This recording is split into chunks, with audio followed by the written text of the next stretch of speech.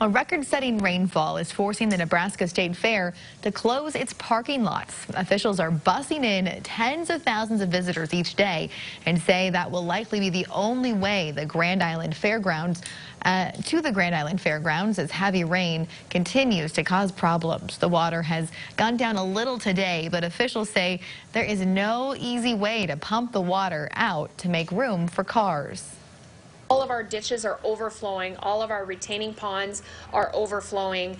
There's literally not a single pipe, at least there wasn't, you know, at 7 o'clock this morning after this hit, that could take any more water.